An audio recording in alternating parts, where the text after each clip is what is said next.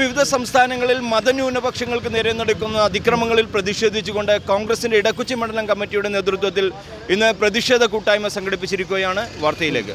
India സ്വതന്ത്രമായ സാഹചര്യത്തിൽ India വിഭജിക്കുന്ന കാലം വരെ ഇന്ത്യയും പാകിസ്ഥാനുമായി വിഭജിക്കുന്ന ഒരു കാലഘട്ടം.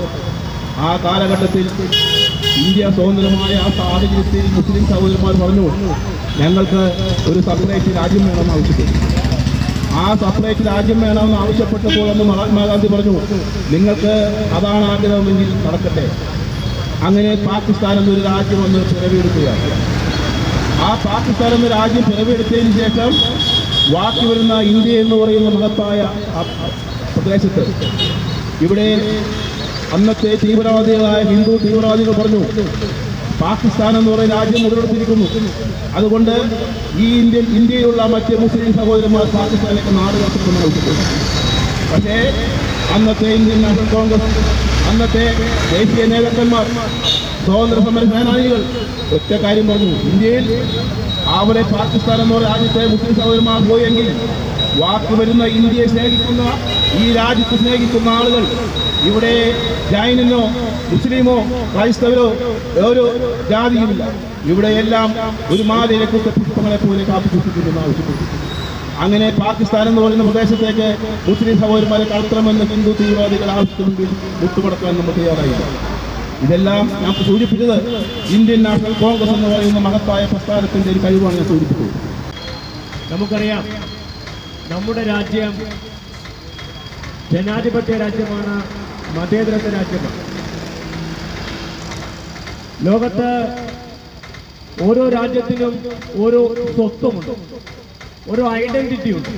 ചില രാജ്യങ്ങൾ മതരാജ്യങ്ങളാണ്. ചില രാജ്യങ്ങൾ രാഷ്ട്രീയ കമ്മ്യൂണിസ്റ്റ് രാജ്യങ്ങളാണ്. അവിടെ എങ്ങും മറ്റൊന്നിനും സാധ്യതയില്ല. അവിടെ അവർ നിശ്ചയിച്ചിട്ടുള്ള മതത്തിനോ അവിടെ നിശ്ചയിക്കപ്പെട്ട രാഷ്ട്രീയ പാർട്ടികൾക്കോ മാത്രമാണ് സ്വാതന്ത്ര്യമുള്ളത്. അതിൽ നിന്ന് വ്യത്യസ്തമായിട്ട് ഇന്ത്യയെ ലോകത്തിനു മുമ്പിൽ അടയാളപ്പെടുത്തുക ഈ രാജ്യം ജനാധിപത്യ രാജ്യമാണ് ഈ രാജ്യം മതേതരത്വ രാജ്യമാണ് എന്നുള്ളതാണ്.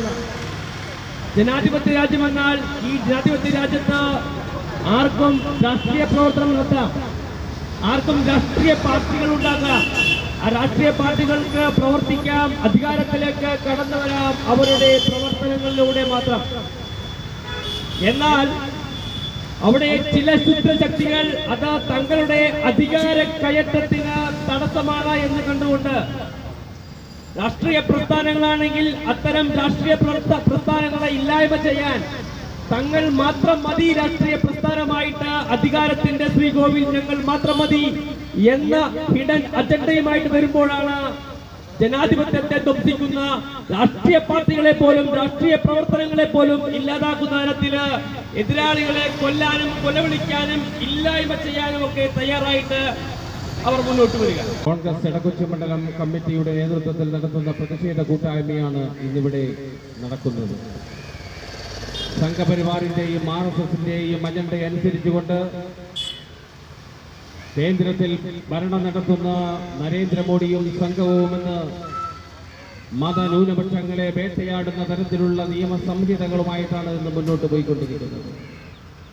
മതന്യൂനപക്ഷങ്ങളെ പീഡിപ്പിച്ച് കൊല്ലുകയും അതുപോലെ തന്നെ വെടി വെടിവെച്ച് കൊല്ലുകയും നീചമായ പ്രവൃത്തിയിലൂടെ മതന്യൂനപക്ഷങ്ങളെ ഇല്ലാതാക്കുന്ന തരത്തിലുള്ള പ്രവൃത്തികളാണ് ഇന്ന് സംഘപരിവാറിന്റെ നേതൃത്വത്തിൽ ഇന്ത്യ മഹാരാജ്യത്ത് നടന്നുകൊണ്ടിരിക്കുന്നത്.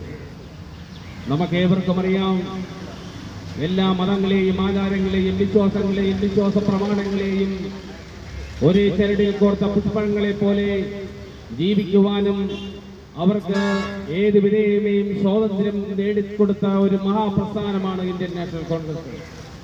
Indian National Congress എപ്പോഴൊക്കെ ഇന്ത്യയുടെ ഭരണത്തിൽ നിന്നും വിട്ടുനിന്നിട്ടുണ്ടോ അന്നൊക്കെ ഇന്ത്യയിൽ വർഗീയ കലാപങ്ങളും അക്രമങ്ങളും കൊണ്ട് സുവിധമായി ജനജീവിതം ദുസ്സഹമാക്കുന്ന തരത്തിലേക്കാണ് ഇന്ന് നമ്മുടെ നാട് പോയിക്കൊണ്ടിരിക്കുന്നത്.